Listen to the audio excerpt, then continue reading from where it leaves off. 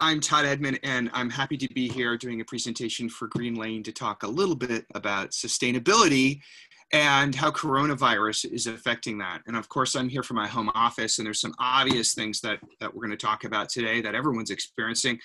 But I try and stay up on trends and what people are writing about because that's part of my job. And I think there's um, some secondary effects that are really, really profound um, that I think are slightly less obvious, and I'm I'm excited to share those with you today. And of course, I'm at home with my three kids, so if you hear, you know, playing in the background, that's a possibility as well.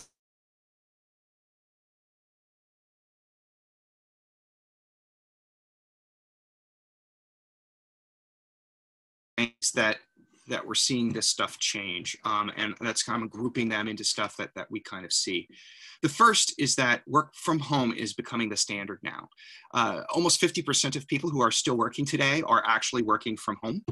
And that's a pretty profound change, I think. Um, and th- this virus is going to be impacting us for 12 to 18 months, probably um, at the soonest that we could see kind of life as normal return, which means a huge chunk of people are going to have to do things like change how they do care for their children, change how they commute, change the tools they use. The second is that food will change. And I bring this up in the context of business because I think it's actually um, tied to work from home as well. And it's also um, tied to where the general consciousness is going, and that can affect all sorts of businesses. And indeed, um, agriculture is the largest single industry in the United States. And so it's, it's impossible for that change in food not to affect all business. And then lastly, cities will change. Um, and I think as we adopt remote work, and food changes and all these fundamental components of, of how we identified ourselves in a society change, uh, we're going to see cities change along with that. And so this is based on research that I'm doing uh, around venture capital, reading futurists, and um, just, you know, in general, trying to be involved in that discussion. So let's start with work from home. Again, 50% of people that are working still are working from home, and that impact, again, will last 12 to 18 months.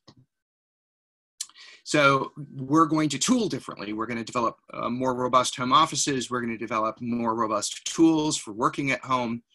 Um, and all of that will change how we interact with our peers who are in the office. I actually see also a lot of commercial real estate um, dropping in value because there's going to be a number of companies that don't go back to having offices. Um, I think uh, you know companies that need to meet with clients in offices are going to change their space, but most companies are probably going to thin down. Um, they're also going to change how desks are allocated. Desks will be a shared space, and people will be working on different days. And I think that, that that's going to impact how um, offices are occupied. Another big factor is uh, uncertain childcare. So it's uncertain and unclear when childcare is going to spin back up um, when ch- children will be able to go back into daycare or back into um, different types of care. Um, and I think that that's actually likely to uh, have a profound impact on the childcare industry. And I think it's going to fragment it and, and change it quite a bit. Um, some of these childcare places are not going to be able to be down for 18 months and recover from it. So I think you're going to see an increase in home care and an increase in localized care where um, parents are are having their kids cared for at locations closer to them. But it's going to be a while before people are willing to accept those risks. So that's going to fundamentally change um, childcare. Um, and then last thing to talk about is computer tools that are going to adapt for work um, and primarily the thing that we're going to need to see is um, there's kind of three different stages of work from home automation and work from home tools one of the primary ones uh, is going to be tool sets to support asynchronous work. And uh, what I mean by asynchronous work is you think about it like someone gets the ball in an email of something they need to do, and they might be one of five people in a chain that need to do something on an item. They'll do their part, they'll send it on, they'll tack on the messages about the part they did, and it'll get passed to the next person. Um, and that's kind of different than more kind of the hub centralized hub and spoke model that we're and management style that we're used to today and so as that happens people will be adopting new tools to address that so even the most computer you know unfriendly industries who have been the slowest to change are going to adopt tools um, like slack and task management tools at a much much higher rate um, a, a really extremely increased rate in the next few months just to kind of deal with this crisis. And then I think it's likely that that's going to be um, a thing that doesn't change back after the crisis begins to, to be over in 12 to 18 months. The other thing that's going to change a lot is food. So small food is currently in big trouble. Uh, it was before this um, crisis struck us. Um, you saw more and more food being grown, grown by small and medium producers. They're, they're actually responsible for all of the growth in the food industry over the last decade. So um, the food industry grew has been growing at about a uh, three to four and food and we have more small farms are growing 7% to 8%. So they represented all of the growth. And where large farms are growing, it's because they've purchased smaller farms. But despite that, they're having declining margins and a smaller share of the food dollar. And that has made it really hard for them to continue to function in business. They're going out of business before this disaster at a record rate. And now we're seeing, you know, all the farmer markets close, which is a primary way a lot of these farms got to market. So the ones that are going to survive are the ones that are going to be able to take their food online, the ones that are going to be working with food hubs, um, and the ones that are going to be able to transition to sort of a new distribution model that doesn't fit the standard models. And let me take a second to talk a little bit about food hubs because I think that's a big thing that's going on. Uh, I was talking to Amy McCann, who has the local food marketplace. They normally, in the past, have onboarded somewhere around 50 people um, a year. That's been their clip. Um, in the second week of the crisis, they onboarded, I think she said, 15 or 16 people. So, you know, you look at that rate and you're like, wow, that's uh, more than 10 times an increase. And I've called around to a lot of these food hubs and they're servicing a few hundred people, which is well beyond their, um, you know, current comfort zone. And most of them have waiting lists. So people are making this shift. If they're going to order at home, they want it to be a different type of food than they were getting in the grocery store. I think there's this fundamental shift that has taken place in people's psychology around food that's super important to understand for all business people. And that is when you go into a grocery store and you've never had to worry about it before, but you go into a grocery store and there's food there that you've come to count on, you start thinking to yourself, where am I going to get my food? And that's making people reevaluate where they're buying food. They're going to farms to try and buy it. They're going to food hubs who are making connections with local providers. And I think this is a seismic shift that is going to have massive long term implications. Even as we return to normal, there's still going to be large chunks of the population, people who have been smokers in the past, people who have asthma problems, who are not going to feel comfortable going out. They're going to want to rely more on working at home and ordering food in at home. And that is going to push forward a massive shift that no big company is actually really ready to address. So even, even Amazon and Instacart aren't ready to address uh, the delivery at home market that is massively, massively going to shift and massively going to change where food comes from. So I, I think that the end impact will be a huge positive step forward with a decrease in food miles because people are looking to change their buying behavior and have a different relationship with their food, have a different relationship with their beverages. I think about um, end of World War II or World War II shifts that occurred that we never moved back from um, as this type of scale. And one of those was that women worked in factories and it caused a massive shift in the labor force av- availability in the United States. Suddenly, our labor force was comprised of 50% more people effectively. And I think that, you know, we never ever went back to that um, sort of male, completely male dominated, you know, um, women not working in the workforce. And that was a hugely positive change, both for our culture and for our economy. And I think we're about to see that same sort of seismic shift um, in food where people do want to rely on local food more and um, do want to um, you know shift their buying habits and those will not shift back i believe um, in the years to come technology has given small producers and um, food hubs the ability to actually service consumers at a really high level that I, I believe that grocery stores in the long run are going to be challenged um, to, to deal with. And I don't think they'll be able to make the same shift for five years to 10 years. So um, part of this is looking at the food supply chain and deconstructing that piece um, and just talking about these pieces. So farms currently get 13% of the wholesale dollar. I think you're going to see that expand as a lot of these pieces um, in the middle end up getting uh, decreased. One of those is looking at distribution. So uh, distribution, heavy trucking, um, of heavy trucking, you're you're talking like over a third that is long haul that's doing food. Um, so you're going to see a big decrease, I think, in long haul trucking that's doing food.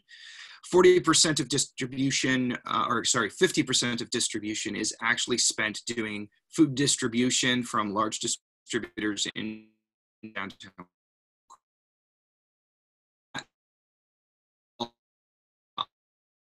The food hubs are going to change that massively. They're going to shift that cost from fuel costs to manual labor. You're going to see more localized food hubs using more manual labor and using alternative sources for delivery. So instead of a big box truck making um, 15 stops in a day, I think you're much more likely to see cargo bikes um, and alternative electric vehicles being tapped to make those distribution decisions. And then shortly, I think this is also going to move forward uh, the awareness uh, and the need for autonomous delivery vehicles. I think that is actually going to be a pretty profound shift too. Um, in the middle, again, you're going to see processing change, less processed foods. That's that's going to happen. Packaging is going to go down. Storage is going to be decreased. So all of these things in the middle will expand, and that will be distributed between local food hubs and also local farms, which I think is a profoundly good thing for our world and our society. Um, and then cities are going to change. Uh, so because of this not work from home, when people are hiring for mobile offices, they really will not care nearly as much where people are located. Um, and this is already a trend we've seen in the last 10 to 15 years, especially since tools have gotten better. But really, I think you're going to see companies, more than half their workforce is going to become remote, which means that it's going to be much more practical to live in a city like Eugene and have a top job um, and I think that is actually going to change the demographics of the city. Um, not that everyone's going to flee from a city, but this long term impact will create, I think, unlike the last downturn, which actually limited people's income mobility and limited their ability to, to move. Um, this downturn will not have that impact. I think people are going to become more mobile. They're going to move to a wider variety of places and less be and be consolidated less in cities. Um, just to be aware, I think commercial real estate and urban multifamily units um, are both going to struggle because of this shift. Um, they're already going to struggle because a big piece of their work is um, and has been largely focused uh, around servicing people who are going to live in urban cores. I'm going to shut my door for just a second. And I think that when you look at that, you go, okay, so if that's going to happen and that shift is going to happen in commercial real estate where people aren't going to move back as quickly or they're not going to um, move back into offices as quickly, that, that, that massive shift is going to really hit urban real estate and multifamily real estate.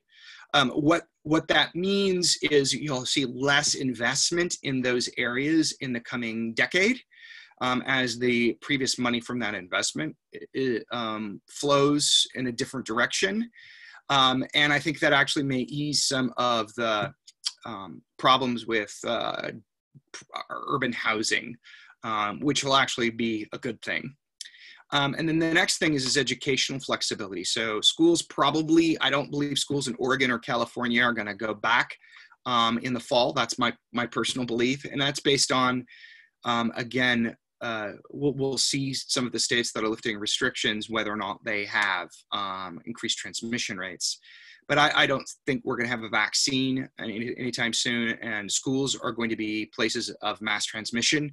And I think it's going to be really hard for us to be willing to take that risk. So schools are going to be pushed to develop more online tools. More people are going to be um, attending schools remotely. And I think that that's going to become more of a socially acceptable thing. And um, that that could be very good for education. Um, it also could have some negative impacts where people and kids who maybe are in um, difficult situations, living situations, might become more challenged in getting help. So I, I think our schools and our educational service districts are actually um, going to be changing a lot and trying to adapt to those new challenges. But again, on the whole, I, I do see some very, very positive things coming out of, of those changes. Um, I've got a display up here. Sorry, Teresa and Greenlane folks. I am not able to get my slideshow moving forward. Okay. There we go. My problem apparently is that I cannot see my mouse. There we go.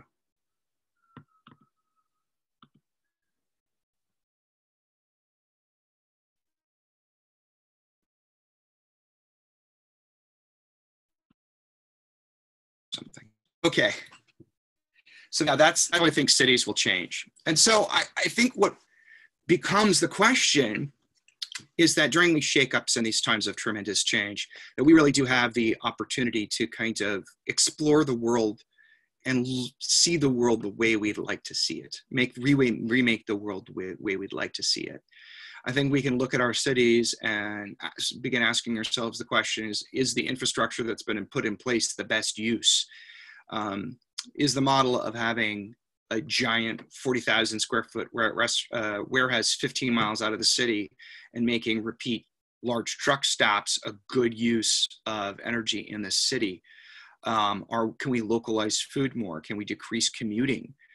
Um, and then I think it's bringing forward the question of things like universal childcare, where look, if um, facilities need to be regulated in a different way and that it needs to be more universal, can we create a delocalized um, child care credit where um, the child care people are, are paid directly to care for kids and meet certain regulatory requirements to allow for kind of a different model in child care? And I, I'm, I'm actually very hopeful about that because um, I think that that's going to have a massive positive impact on um, women in the workforce and also the work from home and also commuting and, and, education and all sorts of wonderful things that could come out of that. And then the last thing I think is going to be a very interesting question is basic income. We're going to have a lot of unemployed people. Restaurants are going to have to open up slowly. Um, and the additional subsidies in uh, unemployment and the extension of unemployment is going to keep sections of the economy flowing that would have not otherwise been flown uh, would have ever otherwise been consumed. Um, people are worried about consumer spending because it's the largest piece of the driver. Well, if consumers have no money because they're unemployed, they don't spend.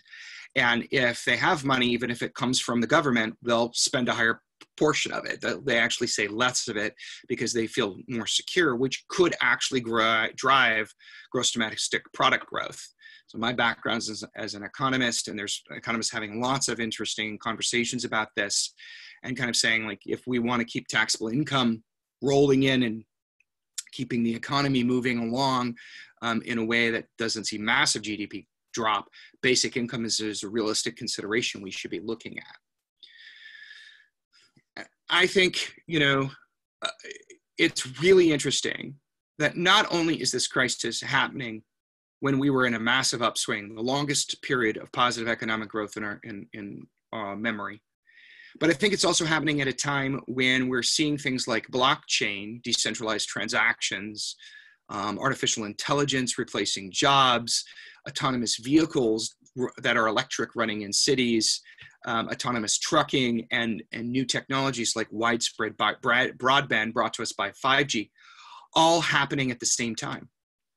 The, it, to have it happen, have this disaster and this crisis happen now, to see all these people dying now, and then be looking forward five years and the impact and the acceleration this will have on technology, which will largely impact um, sustainability in extremely positive ways, is pretty amazing. It really is accelerating paths to all of these sorts of new techs. And I just hope that um, along with that, that we take the advantage that we have to make decisions as consumers and individuals to build better relationships with our food, better relationships with our work, better relationships with our children and education, better relationships with our communities, as a piece of that. So the future is here. This is our opportunity to build the future that we want to see. And I really am looking forward to participating in my own consumer choices and making those in such a way that uh, help that happen.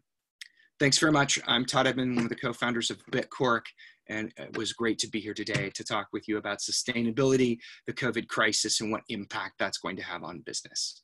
Thanks.